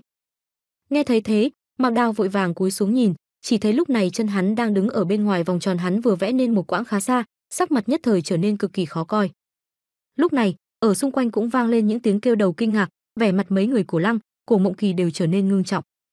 Trận chiến kết thúc nhanh chóng ngoài sự dự liệu của mọi người, khi tất cả đang chờ đợi một trận đại chiến kịch liệt thì lại nhận ra trận chiến đã có kết quả, mà kết quả kia lại còn vô cùng bất ngờ. Vô số ánh mắt kinh ngạc nhìn về Mạc Đào, gương mặt lúc này đã trắng đen đan xen, mãi một lúc lâu sau mọi người mới dần tỉnh thần lại, nhất thời những âm thanh ngạc nhiên rộ lên. Mấy người Cổ Yên, Cổ Nhã thì không quá kinh ngạc, khi Lâm Động còn là cửu nguyên niết bàn đã có lực chiến đấu kinh người. Huống hồ giờ hắn đã là sinh huyền cảnh, hiển nhiên sẽ khó tìm được người nào cùng tầng thứ mà sánh được với hắn. Thực lực của mặc Đào tuy khá mạnh nhưng rõ ràng vẫn chưa phải đối thủ của Lâm Động, huống hồ ngay cả từ đầu hắn đã có thái độ coi thường. Cái gã này. Sắc mặt ba vị trưởng bối của cổ gia ngưng trọng nhìn mặc Đào rồi nhìn sang Lâm Động, sau đó nhìn nhau, đều nhận ra sự chấn động trong mắt đối phương. Cuộc giao đấu vừa rồi tuy diễn ra rất nhanh, nhưng bọn họ vẫn cảm nhận được Lâm Động hoàn toàn ở vị trí chủ đạo, còn mặc Đào gần như bị rất mũi đi. Hai bên đã phân rõ cao thấp. Quả nhiên đã xem thường hắn rồi. Cổ Mộng Kỳ nhìn Lâm Động với ánh mắt kỳ dị, sau đó khẽ mỉm cười, xem ra những gì Cổ Yên nói không phải giả, lực chiến đấu thật sự của Lâm Động đã vượt qua thực lực bề ngoài của hắn. Chẳng trách mà khi chưa đột phá sinh huyền cảnh đã đánh bại được cường giả sinh huyền cảnh tiểu thành. Nàng biết rõ thực lực của Mạc Đào, nếu đổi lại là nàng ra tay, tuy có thể đánh bại hắn nhưng cũng không thể gọn gàng nhẹ nhàng như vậy. Mộng Kỳ tỷ, Cổ Lăng thúc, giờ mọi người đã tin lời con nói chưa? Trên gương mặt lạnh lùng của Cổ Yên cũng hiện nụ cười. Ba người Cổ Lăng nghe vậy, cũng đành gật đầu. Vừa rồi đã nói rõ, hơn nữa Lâm Động cũng đã thắng Mạc Đào, vì thế bọn họ cũng không thể nói gì hơn. Đợi đã, nhưng khi bọn họ gật đầu thì Mạc Đào không kìm được lên tiếng, nhất thời hắn nghiến răng. Vừa rồi là ta đã sơ suất. Mạc Đào, quy tắc là ngươi đặt ra, nếu giờ hối hận thì có hơi mất mặt Địa Hải Tông các ngươi không? Vẻ mặt Cổ Yên lạnh tanh nói. Sắc mặt Mạc Đào cứng đờ, nhất thời chuyển ánh mắt đi thì thấy sắc mặt đám đệ tử cổ ra có phần quái dị, khi thấy hắn nhìn thì bọn họ đều nhìn đi chỗ khác. Thấy thế, Mạc Đào bất giác siết chặt tay, nhất thời nhìn sang mấy người cổ lăng, nói: "Lẽ nào các ngươi muốn kẻ lai lịch bất minh này làm người viện trợ?" Khụ khụ, cổ lăng ho khan một tiếng, vẻ mặt có phần lúng túng. "Ha ha, Mạc Đào huynh đừng giận, người viện trợ cho cổ gia đương nhiên thực lực càng mạnh càng tốt. Vừa rồi nếu huynh đánh bại Lâm Động, đương nhiên không có gì để nói. Nhưng giờ cuộc tỉ thí đã kết thúc, vì thế Cổ Mộng Kỳ nói dịu dàng với vẻ hối lỗi. Có điều, Mạc Đào huynh cũng có thể ở lại võ hội đảo cùng xem võ hội, cổ gia ta đương nhiên sẽ tiếp đãi huynh như khách quý. Lời nói của Cổ Mộng Kỳ dịu dàng mà không có chút sơ hở nào, khiến Mặc Đào cũng không thể nói được gì, gương mặt biến sắc một lúc lâu mới hầm hầm vung tay, lạnh lùng nhìn Lâm Động. "Được, nếu các ngươi đã muốn để hắn viện trợ thì ta sẽ đợi xem xem hắn có thể làm được gì." "Hừ, đến lúc đó sẽ không thể nào dựa vào mấy cái quy tắc đó mà được lợi." "Quy tắc là tự ngươi đặt ra." Cổ Yên nhíu mày nhắc nhở. Mặc Đào khựng người, nộ hỏa trong lòng bùng cháy nhưng quả thật không thể nói được gì, chỉ hư lạnh một tiếng rồi khẽ lùi lại. Lâm Động huynh, võ hội lần này phải dựa vào huynh rồi. Cổ Mộng Kỳ nhìn Lâm Động, mỉm cười nói. Lâm Động cười cười nhìn Cổ Mộng Kỳ. Nữ tử này bề ngoài nhìn có vẻ ôn hòa, dịu dàng nhưng rõ ràng thủ đoạn cũng không vừa, nếu không thì khó lòng chỉ bằng vài câu nói đã khiến Mặc Đào không thể phản pháo được gì. Mộng Kỳ cô nương khách khí rồi, ta được Cổ Yên cô nương mời mới nhận lời, chỉ cần sau khi xong việc, trả thù lao đúng như thỏa thuận thì ta tự nhiên sẽ cố gắng hết sức. Trước đó Cổ Yên không nói thật chi tiết, nhưng Lâm Động vẫn cảm nhận được mức độ quan trọng của ba suất vào Hồng Hoang Tháp đối với Cổ gia. Cổ Yên hứa rằng nếu đoạt được quán quân thì sẽ cho hắn một suất, nhưng rõ ràng Cổ Yên không thể đại diện cho Cổ gia. Vì thế chuyện thù lao nên nói rõ ngay từ đầu để tránh sau đó lại xảy ra tranh chấp. Thù lao. Cổ Mộng Kỳ nhận ngay ra trọng điểm trong lời nói của Lâm Động, nhất thời nhìn Cổ Yên cười nói: "Không biết Tiểu Yên đã hứa với Lâm Động huynh thù lao gì?" Một suất vào Hồng Hoang Tháp. Lâm Động nhìn Cổ Yên lúc này hơi căng thẳng, cười nói: Vừa dứt lời, hắn liền thấy Cổ Mộng Kỳ và mấy người Cổ Lăng đều sững người, sau đó vẻ mặt đều thay đổi. Lâm Động huynh, dù Cổ gia có đoạt được quán quân, nhưng cũng chỉ có ba suất. Cổ Mộng Kỳ nhíu mày, nói với vẻ khó xử. Hay là Lâm Động huynh đổi điều kiện khác? Huyền Nguyên Đan, vũ kỹ, linh bảo, chỉ cần huynh nói ra, Cổ gia đều có thể đáp ứng được. Lâm Động nhún vai, xem ra chuyện này đúng là Cổ Yên không thể quyết định được, cũng may hắn hỏi kỹ trước, nếu không thì sau này chắc chắn sẽ phiền phức. Xin lỗi, ta chỉ muốn một suất vào Hồng Hoang Tháp, nếu mọi người không đồng ý thì ta nghĩ mình nên rời khỏi đây thôi. Lâm Động nói cũng không quá khách khí, đây vốn dĩ là một cuộc giao dịch, hắn bỏ sức giúp cổ gia giành quán quân, còn cổ gia cho hắn một suất vào Hồng Hoang Tháp, rất công bằng. Dường như mấy người cổ Mộng Kỳ không ngờ Lâm Động hành sự lại dứt khoát như vậy, cặp mày đều nhân lại. Ba suất này đối với cổ gia mà nói vốn đã rất ít, nếu cho Lâm Động một suất thì ha ha, bụng dạ cũng không nhỏ nhỉ. Mộng Kỳ cô nương, xem ra lần này mọi người đã tìm được một con sói đói với cái dạ dày tham lam rồi. Mạc Đào thấy thế, không khỏi lên tiếng châm chọc. Lâm Động nghiêng đầu nhìn Mặc Đào rồi gật đầu nghiêm túc nói: "Đúng là dạ dày ta không nhỏ, nhưng nếu vị Mặc Đào huynh đây có lòng tin giúp được cổ gia giành được chức quán quân từ tay thân đồ tuyệt thì vẫn nên để huynh ấy trợ giúp thì hơn." Khi ba chữ thân đồ tuyệt lọt vào tai, Mặc Đào lập tức thiếu tự nhiên, không nói được gì nữa. Xem ra hắn cũng hiểu khoảng cách giữa mình và người xếp thứ ba trong số các đệ tử trẻ tuổi của Hải vực Thiên Phong này. Hắn tự tin giúp cổ gia giành được thành tích tốt, nhưng rõ ràng là không thể đoạt được quán quân võ hội ý ngươi là ngươi có tư cách đoạt chức quán quân từ tay thân đồ tuyệt. Mạc đào lấy lại vẻ mặt bình thường, cười chào phùng nói. Nghe lời nói đó, mấy người cổ mộng kỳ, cổ lăng cũng nhìn sang. Ai cũng biết thân đồ tuyệt là kẻ khó đối phó nhất trong võ hội, có lẽ trong tứ đại gia tộc căn bản chẳng có ai chắc chắn được. Chắc chắn năm phần. Lâm động cười nhạt, nói. Hắn vẫn chưa gặp qua thiết tu la thân đồ tuyệt của thân đồ gia, vì thế cũng không nói quá tuyệt đối. Từ những thông tin biết được qua cổ yên, có lẽ thân đồ tuyệt có thực lực sinh huyền cảnh đại thành quả thật là rất cường hãn, nếu là trước khi Lâm Động đột phá sinh huyền cảnh thì có lẽ hắn khó lòng thắng nổi, nhưng bây giờ thì chưa thể biết được. Dù Lâm Động nói như vậy có chút hạ thấp rồi, nhưng xung quanh vẫn có vô số người đầy vẻ kinh ngạc, Mạc Đào thì bật cười, vẻ mặt đầy châm chọc, hiển nhiên hắn đang nghĩ Lâm Động đang nói khoác. Nhưng Lâm Động cũng không bận tâm lắm đến những biểu hiện của mọi người, nhìn sang mấy người cổ Mộng Kỳ, cười nói: "Đã nói rõ hết rồi, có tin hay không là chuyện của các ngươi. Nhưng điều kiện của ta sẽ không thay đổi, nếu không được thì bây giờ ta sẽ rời đi luôn, làm phiền rồi." Mấy người cổ Mộng Kỳ, Cổ Lăng nhìn nhau, nhất thời nhìn Lâm Động. Bọn họ không thể ngờ hắn lại có đến 5 phần chắc chắn giành được quán quân từ tay Thiết Tu La thân đầu tuyệt. Mộng Kỳ tỷ, hãy tin hắn đi, nếu chúng ta không giành được quán quân thì một suất cũng chẳng có. Hơn nữa Lâm Động cũng không cần thù lao gì khác, nếu không được thì chúng ta cũng không tổn thất gì. Lẽ nào tỷ cho rằng chỉ dựa vào chúng ta là có thể chống lại được thân đồ tuyệt sao? Cổ Yên đến bên cạnh Cổ Mộng Kỳ, nói nhỏ. Vẻ mặt Cổ Mộng Kỳ phức tạp nhìn mấy người Cổ Lăng một chút, nhất thời nói: Lâm Động huynh, chuyện này bọn ta không thể quyết định được, chi bằng huynh ở võ hội đảo nghỉ ngơi đã, trước khi võ hội bắt đầu, bọn ta sẽ trả lời, được chứ? Được, nếu võ hội bắt đầu mà chưa có câu trả lời rõ ràng thì ta sẽ rời khỏi đây ngay. Lâm Động cười nói. Cổ Mộng Kỳ lắc đầu cười khổ, lúc này nàng mới cảm nhận được sự khó đối phó của Lâm Động, hắn ta đúng là cứng đầu. Võ hội ngũ đại gia tộc hiển nhiên là sự kiện không hề nhỏ của Hải vực Thiên Phong. Vì thế trong mấy ngày này có ngày một nhiều cường giả tập trung về võ hội đảo, khiến bầu không khí trở nên vô cùng náo nhiệt. Từ đó có thể thất khả năng hiệu triệu của ngũ đại gia tộc trong Hải vực Thiên Phong lớn đến mức nào. Nhưng sau khi đến võ hội đảo, Lâm Động không hề ra ngoài, chỉ yên tĩnh ở trong phòng nghỉ mà cổ gia sắp xếp để tu luyện. Ngưng luyện lượng nguyên lực dồi dào có phần không vững chắc do thực lực gia tăng đột ngột của hắn. Cổ gia cũng rất coi trọng hắn, trong thời gian tu luyện không chỉ bảo cổ nhã chăm sóc cẩn thận mà còn đưa đến hai vạn huyền nguyên đan cho Lâm Động dùng khi tu luyện. Lâm Động cũng không tỏ ra khách khí, bình thản nhận hết. Đương nhiên hắn cũng không bị dao động vì chút ân huệ này. Nếu cổ gia không nỡ cho hắn một suất vào Hồng Hoang Tháp thì hắn cũng dứt khoát rời khỏi đây luôn. Năm ngày nhanh chóng trôi qua trong sự tĩnh lặng, võ hội cũng đang tới gần. Ánh sáng từ ngoài cửa sổ chiếu vào, Lâm Động ngồi tĩnh lặng, mấy trăm viên huyền nguyên đan xoay quanh người hắn.